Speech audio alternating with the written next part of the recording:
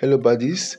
I know you might have seen or you might have tried other Ghana buns recipe or dry bofrot or dry Nigerian puff puff or Ghana togbei. But believe me, this particular one is a game changer. When you try this particular recipe, you're not going to love any other Ghana buns recipe.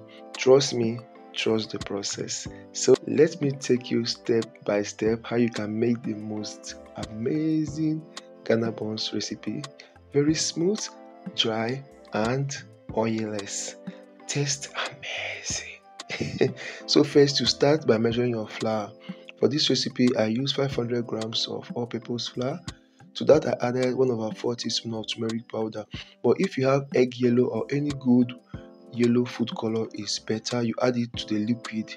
1 teaspoon of milk powder flavor, 1 over 4 teaspoon of meat spice, 1 over 8 teaspoon of cinnamon powder, 2 grams of instant dry yeast.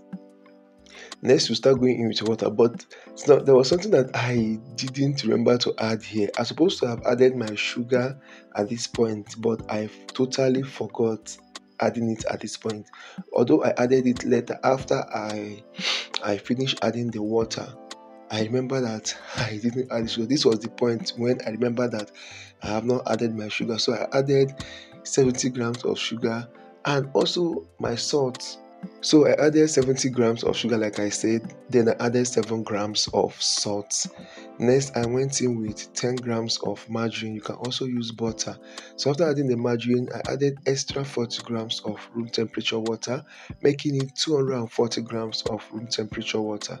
So after adding it, I make sure that I combine everything so that there will not be any traces of dry flour in the uh, mixture. I make sure that my dough forms so well. Then I added extra tablespoon water to soften the dough just this way. So once I was done doing that, I sprinkled a little bit of flour, then transfer this on my work surface. But please, like I said, the sugar and the salt should be added while you are while the you are measuring the flour. Okay, add it with the flour. After measuring the flour, adding the cinnamon and all that add the sugar at that same time and the salt also at that same time please. So once i was done combining and forming my dough i went ahead and started kneading this dough. You all should have known me by now that if i'm to knead my dough using hand this is how i do it okay? A lot of people have the way they make their own or they knead their dough but this is basically how i knead my dough to soften it and to give me that fluffiness and that um, um, softness that I want. So after that, I had to cover this dough. After kneading it, I had to cover it for 30 minutes. So after the 30 minutes, I went ahead, sprinkled some flour on my work surface. Then I started, I started cutting and scaling the dough.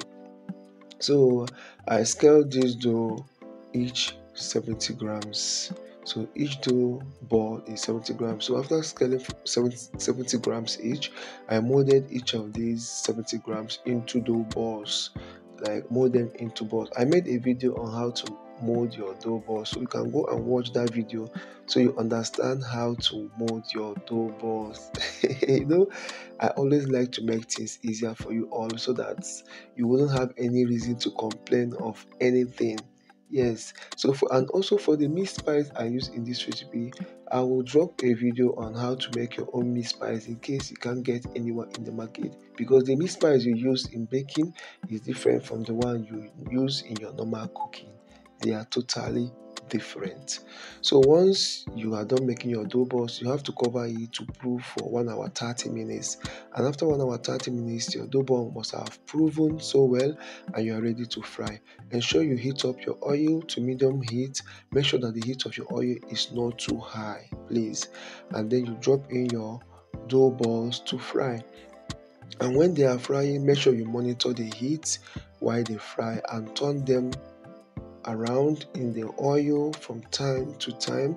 So one side will brown leaving the other side not being brown as well okay? So you need to turn them turn them around in the oil from time to time until they turn light golden brown. Then you can take them out from the oil.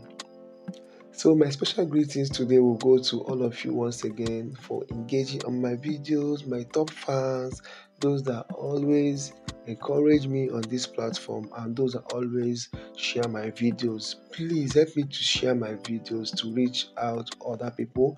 Help me to watch my videos to the end so that my videos can be recommended to others please if you love me so guys like i say once they are light golden brown, take them out from the oil and let them cool down completely.